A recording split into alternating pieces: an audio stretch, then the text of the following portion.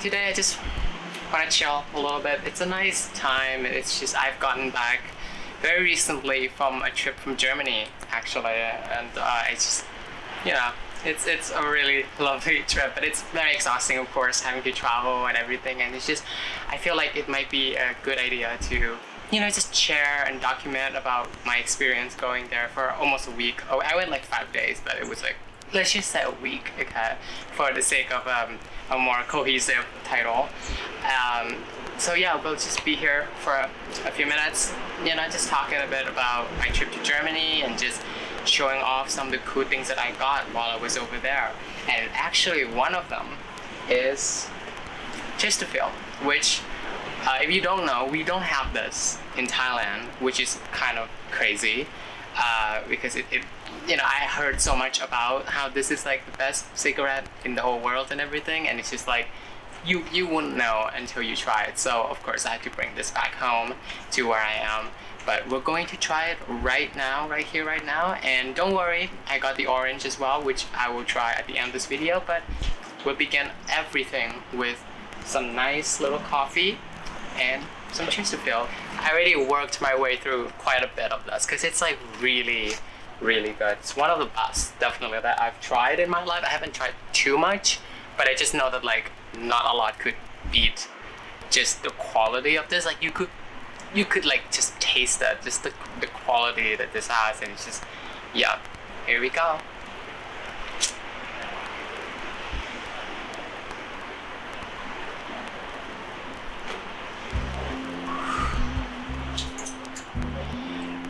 Match that with some coffee, like, hmm.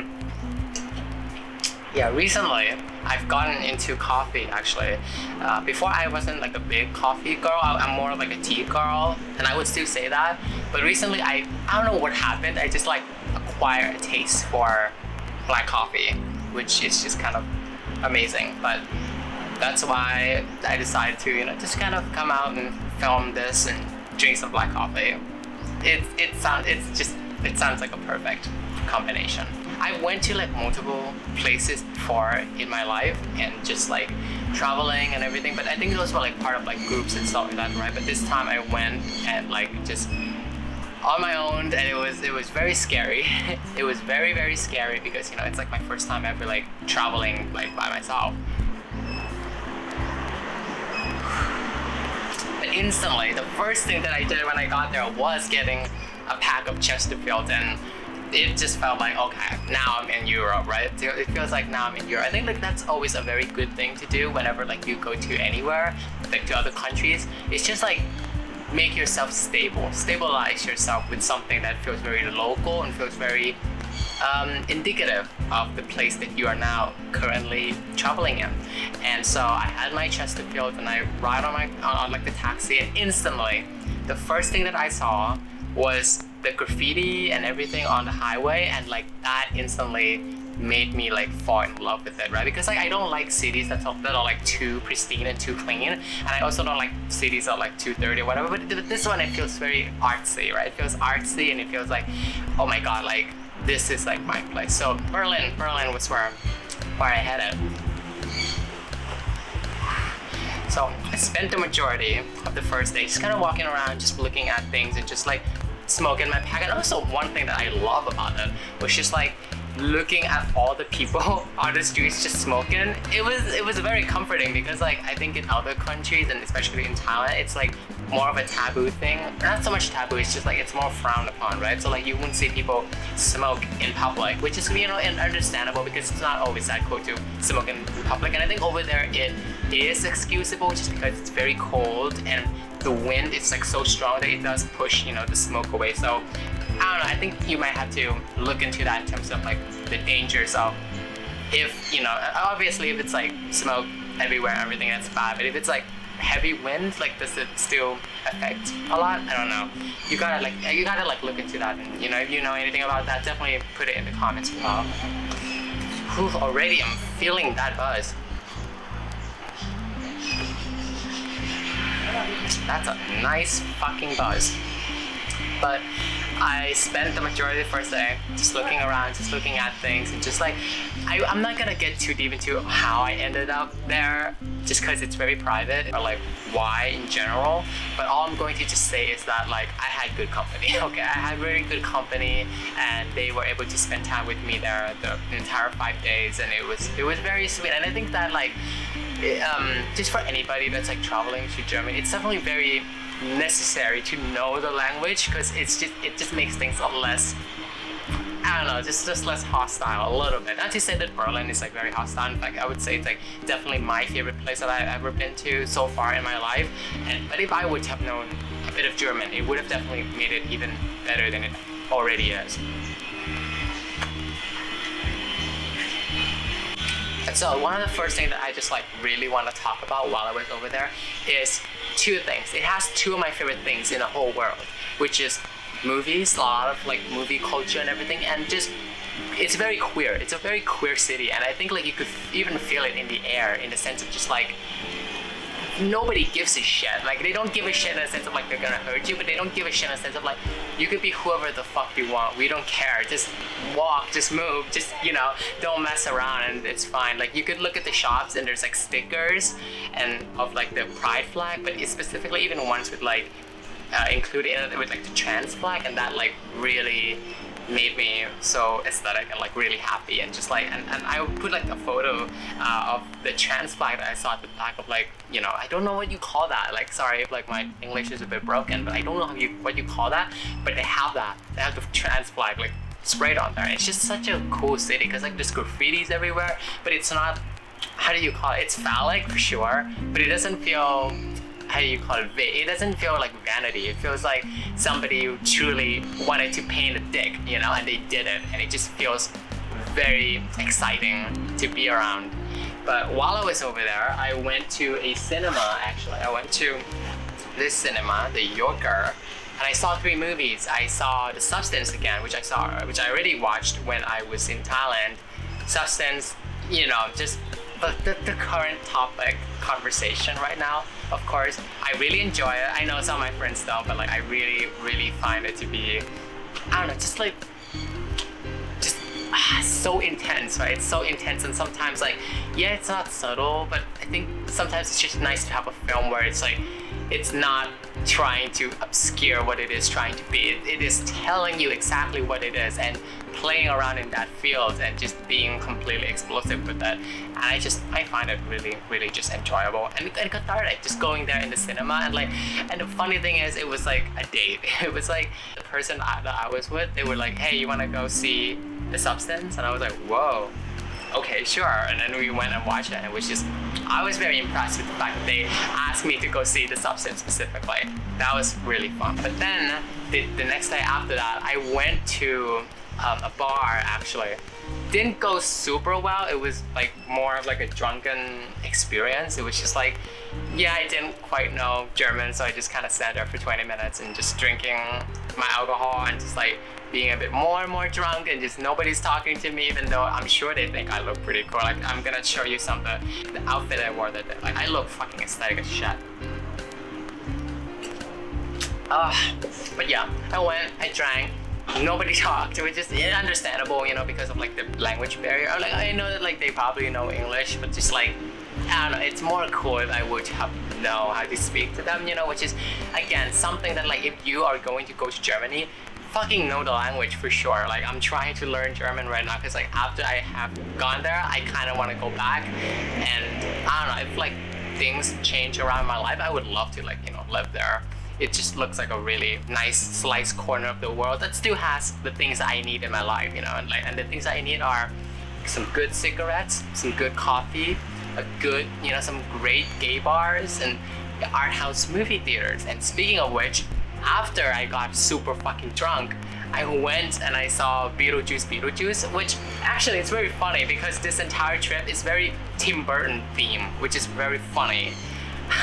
So I, first of all, I began with Beetlejuice, Beetlejuice. I went and saw that completely drunk off my head, and if you know how crazy that movie is, like I was hysterical in that theater and just like watching it, just going like, whoa, you know, like Michael Keaton absolutely still embodying the character as if like time has never changed, even though he looks very drastic, I would say, and just the craziness of like the movie. Like it's, I don't think it's like it's not good, but it's like decent and it's wild and it's exciting because this is a movie where Burton is basically almost reminiscing about the fact that, you know, we used to be able to make movies like this crazy back in the old days, but now not quite. Although me saying that, it's quite funny how 2024 is the year where a lot of directors with name, with like prestige or like with power and credit who have made successful in the past, who have like made successful films in the past, are currently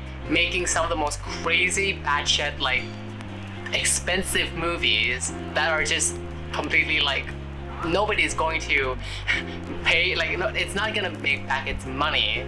And not a lot of people are gonna watch it except crazy people like me. But I fucking appreciate the fact like they're making it. Although good for Burton that like he did make his money back from what I remember because it's it's Beetlejuice, Beetlejuice. It's got you know, um, Jenna Ortega and everything. And speaking of her, got two shoes while I was over there. I got um, one where it was, you know, just a Zara shoes. Because like the shoes that I went to Germany with, it fucking broke on me.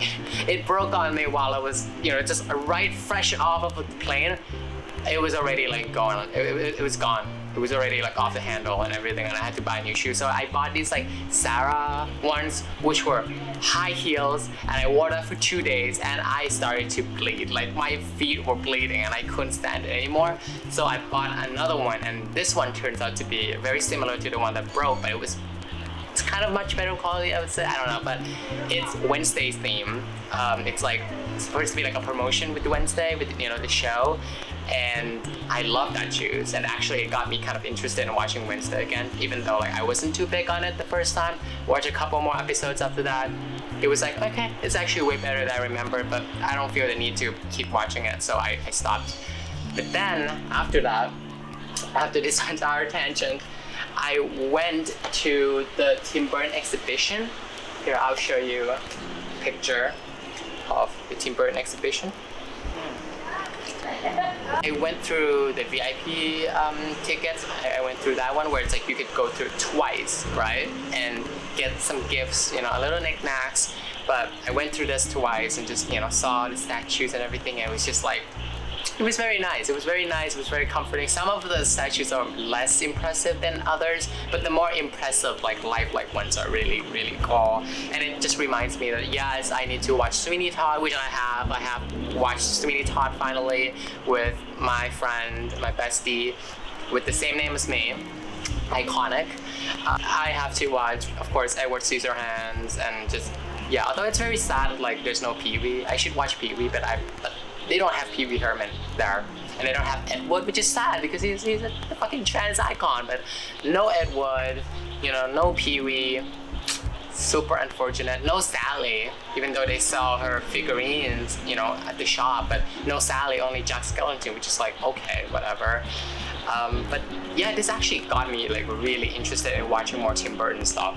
And so after that, I went and watch Wednesday, as I said, and just like, yeah, and I'll show you the little knickknacks that I got uh, from the gift section. So I got this little postcard. They were like selling shirts, but like the shirts were like these exact images, and like I wasn't too too big on it. Like I would have loved to be able to wear like a Burton shirt for this video. It, it would have been like super appropriate, but you know, I don't have I don't have that much budget, girls. I fucking traveled to Germany and back. Okay, like I, I I paid quite a bit to be able to tell you all of this. So I'm just going to show you some of these images and just yeah. Meanwhile, wearing my Sofia Coppola that. But so after that, I went to the Berlin Film Museum, which is just, it's just for me. It's completely like my thing, you know, even like the person I was with was like, yeah, you, you go off there, I will stay and do whatever the hell I want. So I'm like, okay, sure, I'm gonna go to the Film Berlin. Cause like, it's mostly just like my thing, you know, just like being able to go pass through like, you know, Marlene Dietrich, like costumes and everything and everything she's wore on screen and just like feeling that aura. I love how like 30 like 35% of that museum was basically dedicated to her, which is just like so iconic and just like mm, beautiful. So the first leg of it was like silent film. So there's Metropolis, there's The Last Laugh. Like they have the costume that like the character in The Last Laugh wore, which if you've seen that movie, which is very devastating, you would know how important that costume is to the character and to his arc and his progression, just how tragic that movie was. So being able to see it in real life and seeing how actually like really big the actor must have been, my god, like it was, you know, chill. I got chills. And then there's, you know, the Dr. Cabinet of which is another one that like I felt like I wanted to watch after I go to like this museum. And that's kind of a, the, the beautiful thing about like film museums and like exhibitions like this, right? Where it's like when you get to see just like the details, like the little details, but up close and just like in this I don't know how you call it, but just like you know almost interactive way because you have to go and look at it and just you know look at all the details that like a camera wouldn't be able to catch. It just makes you feel more immersed into that world and more intrigued to go back and look at whatever you know you might have missed when you first experienced it. And, and yeah, it just it it's almost like very life changing in a way because I got like it's just incredible. So I went through that. So the first I think like about 60 70% of it was very dedicated to like golden age like older movies and like there was actually a part um, in the exhibition that was like very very heartbreaking and, and one of, but it's one of the things that I like about Berlin which is that like they are not ashamed to admit about what happened in the past, you know, especially during World War II, which is something that I couldn't say so much about my own country, but I love the fact that like they acknowledged it and I went to the memorial, um, which is very moving and just, yeah, being there and you feel just the loss, but also just, you know, just looking at the dedication that people have made, especially for you know, there's like a, one stone where it was you could look through it and you could see like this cute gay couple, and it just makes you realize that like we cannot ever forget about this, and the people who tries to bury it are monsters. You know, they're, they're terrible. You shouldn't bury these things. These things should be always be remembered, not just because so history won't repeat itself, but because these people are worth remembering. These people are worth you know, we cannot forget about them. And the reason why they have been like this, why why these things happened to them was exactly because the people back then didn't think about them and forgot about them. So I think it was just very important that that exists. But in the museum itself, there was a dedication. There was like a room, um, not so much dedicated, but, but containing archives of when you know German cinema was you know run by the you know the regime by the, by the Nazis. And the way they did it was very clever because they don't proudly like display it. No they have like a wall that looks like an archive or like cabinet and you have to pull it. And when you pull it it will show you items in the films and as well as the history information. And then below that there would be a screen where you could watch the actual movies that they made during that time. And there's something very chilling about that because it's like yeah you're unlocking history quite literally and it's it's very powerful and just yeah bone chilling yeah absolutely and then also i was a bit disappointed that like first of all no mention of Pandora's box. No no mention of my girl like Louise Brooks. Like she's one of my absolute inspirations when it comes to becoming the woman that I am today and just like realizing like I love, you know, just femininity and, and, and myself and just I will forever cherish as well reading her book, you know, Lulu in Hollywood. That's like a really great book if you want to know, just be able to experience almost like what it's like to be a star during that time. Definitely a good companion piece too, like for example, Babylon. Another big budget, like, you know, bomb from a great director, which is a great film, but it's a good book in terms of like being a companion piece to that. I would recommend it. It's just sad that like there's no Louise Brooks because it's like yeah, and also it's just weird because they have pictures of Jimmy Stewart and like you know I think Katharine Hepburn and like Joan Crawford, which is like um, photos in I think if I were to like guess correctly, it was like in the collection that um, Dietrich owned when she was in Hollywood. So we just like it's a bit weird. There's no mention of Louise Brooks, and that just felt like really really wrong. Uh, because Pandora's Box is like maybe my favorite silent film of all time. But then, anyways, and Diary of the Lost Girl as well. Do not forget that Diary of the Lost Girl is incredible. And then the other sad part of it was like I think the final leg, like around 20% of it left was dedicated to 70s, 80s, 90s, 2000s, you know, 2010s. So there's like a little bit of Werner Herzog and a little bit of Rainer Werner Fassbinder, but I think maybe it's more due to just like things not surviving past the 70s maybe that maybe in the archives they have more of this stuff from you know the golden age and from like you know 40s 50s more than they did like post that. So maybe that's why there isn't so much you know of that stuff but i really like wanted to see more of it. And although they have like the boat the fitzcarraldo boat shrunk it's a mini it's it's a miniature of course but like i just like to imagine for some reason like this being a, a weird science fiction movie and they took that entire boat that Werner Herzog like got up out of like a mountain of like a side of a mountain in Fitzcarraldo and just shrunk it and now it's in the museum. That would have been wonderful if that was true and then there was a seat there was like the, the, the director's seat for Rainer Werner Fassbinder just right there and it's kind of amazing it's like here is where everybody's favorite German homosexual sat. And it's like, wow. Chills, baby, chills. Okay, from over there, uh, what I got, what I ended up getting was this box set of Jim Jarmusch movies. I wanted to get like German movies. I was like, oh my god, I feel kind of bad that I didn't get you know, German movie. But like recently, I haven't been buying too much DVDs just because of space and my own current, you know, situation financially and stuff. So I haven't been buying too much DVDs. And if I were to, like something like this is very good for me just because like I get 11 movies on a single DVD set, which is cool. And don't worry, I have a region-free DVD player, so it's like it's not gonna be too hectic. But um, yeah, so it's just I, I got this instead and I wanted to like buy, for example, like I wanted to get like the Metropolis one I like the Pandora's box specifically, but it's not the Criterion. I'm like, I want to own the Criterion of that because that's like, you know, again, one of my very favorites of, of all time, of all films, but like especially like of silent film, it's my favorite of all time. So uh, I'm just gonna open this up a little bit, show it to you. Look at that. Oh, speaking of more Burton, there's Johnny Depp there.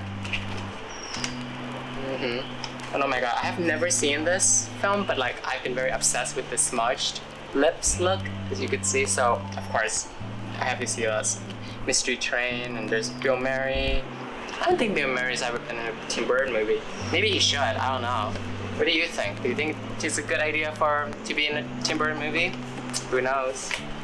But then the next, the other thing that I got, it's a little treat I got vegan chocolate, super fucking delicious. So delicious I have to bring it back home just to like look at it and feel like next time I'm gonna go there, I'm gonna buy more of these and just hang hang up on them. I'm gonna I'm gonna get some more chocolate, eat these, drink some black coffee,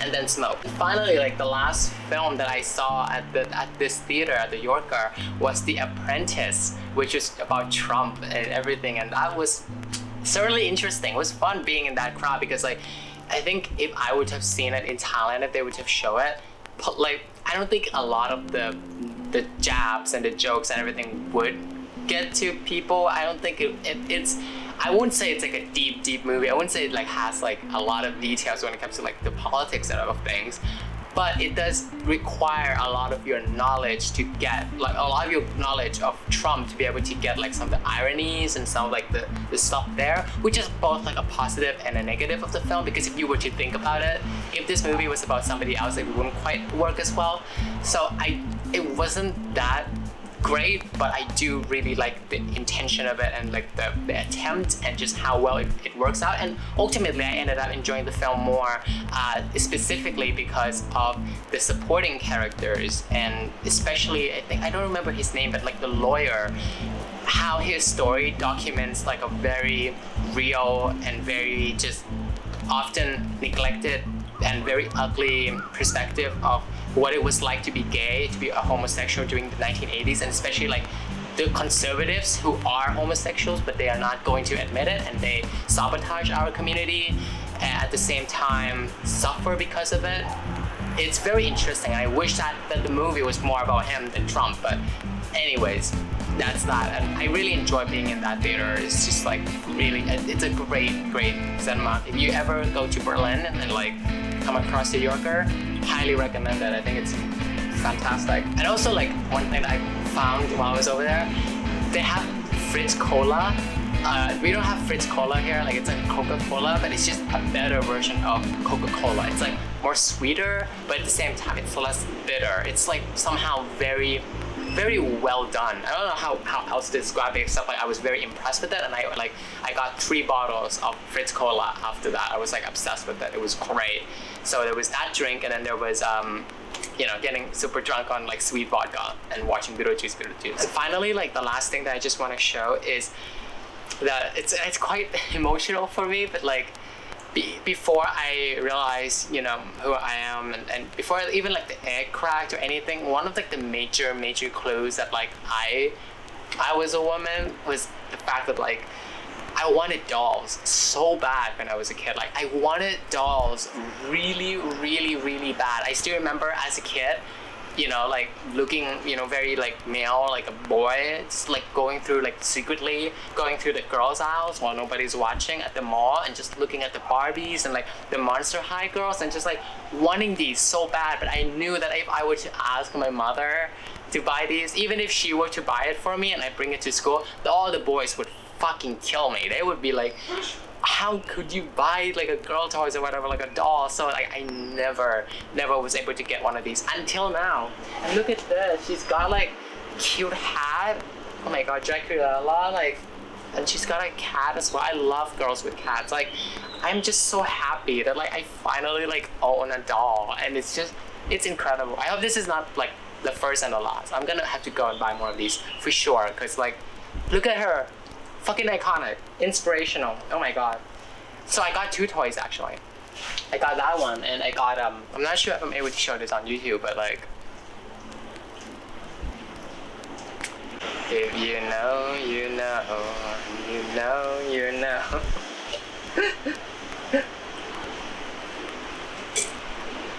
Other than that, I went and I, I, ate um, at Five Guys for the first time.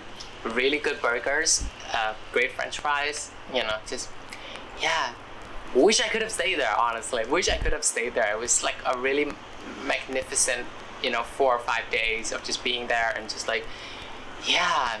Um, and I just, I really, really cherish it and just, I'm glad to be able to show all of these with you and just, you know, document this, you know, just me talking about it and sharing it with you, my friends, and just, I I love it so much. I honestly really, really do. I just like the fact that it's like so it's so wide, but it's not so overwhelming. It's not like California, right, where it's like there's a lot going on or that like a lot of things are stretched out. No, it's like very you could still walk from one place to the other without it being almost like hiking, you know? It, it's still really really accessible you know for somebody like me just like going there and just i i really fucking love it honestly and just I, I'm trying to remember what I did the last day specifically, but I just know like I didn't do too much besides from like just going, you know, to the airport, crying a lot. And, oh, I passed the immigration. At the immigration, it was fucking hilarious. I'm just gonna post the video that I post on my stories over here. I think she explains it better than anybody else. Okay, very quickly, I'm gonna just document this quick little wholesome moment I had at the immigration um, pass where like this lady, an, an officer lady, oh my gosh, she was so hot she was like looking at my passport and then she did like a double take and she was like you becoming a woman now? And I'm like, oh yeah, yeah, yeah, yeah, I'm, I'm, I'm, transgender, yeah. And she was like, wow, you look really different. I'm like, yeah, I definitely look different. I should change that photo, right? Because like I look so, so different. She was like, yeah. And I'm like, but for the better, right? And she's like, oh, absolutely. It's just so wholesome. And I love, and I love her. It's such an iconic line. You're becoming a woman now? I should definitely get that like uh, printed on a t-shirt. Becoming a woman now?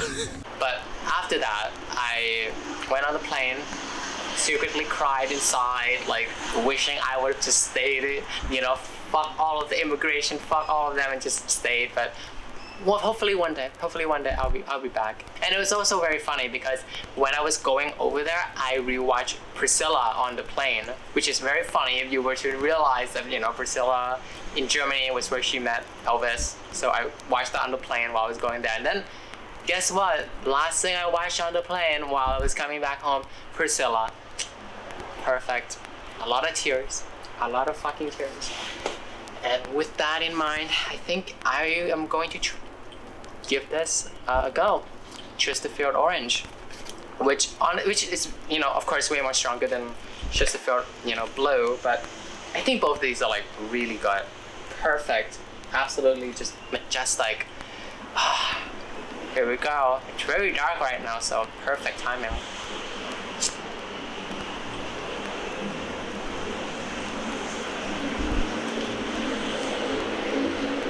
Now that is way stronger.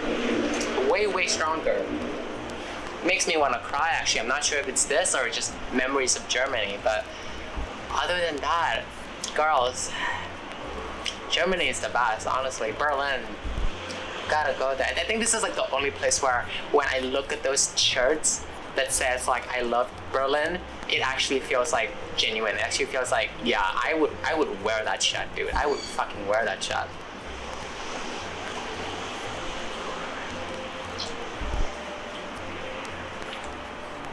Oh. oh, and I went to the zoo. The zoo was very nice. The animals, of course, and just I like how it's like half zoo and half park, which is very cool. Oh wow, I got some cigarettes on my lips.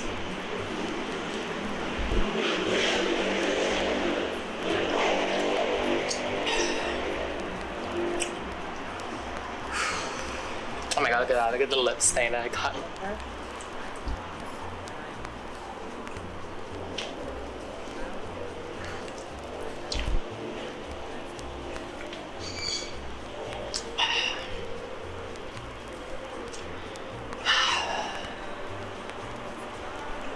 The sunset. It's like it's so beautiful, and this buzz is so strong. I'm telling you, this buzz, this buzz is giving that one a run for its money. But It's quite strong. You could almost pass out from it. Jesus, and match this with black coffee. I mean, perfect, absolutely fucking perfect.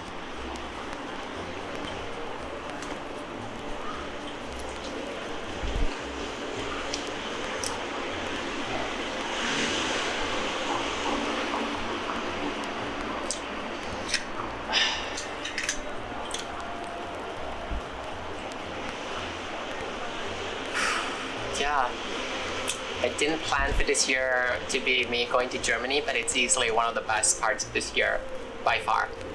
I really, really loved it.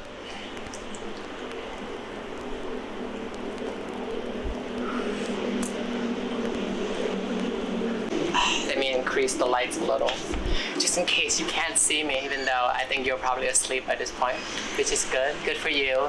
Get some good sleep and just remember kids, you know, don't smoke. Um, but if you do, brush your teeth a lot and don't throw these around. It's not good. I do, I do admit I kind of did throw these around a bit while I was over there. But a lot of people were doing it as well. And yet the street was so clean, quite clean.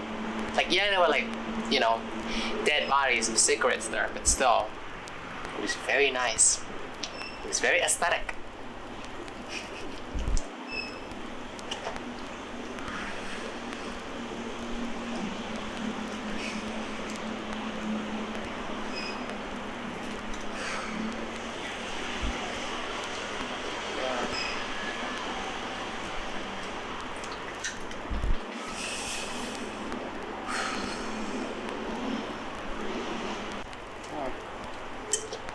Well, I hope that you have a great rest of your day um, whenever you're watching this and just, yeah, take care of yourself. Bye.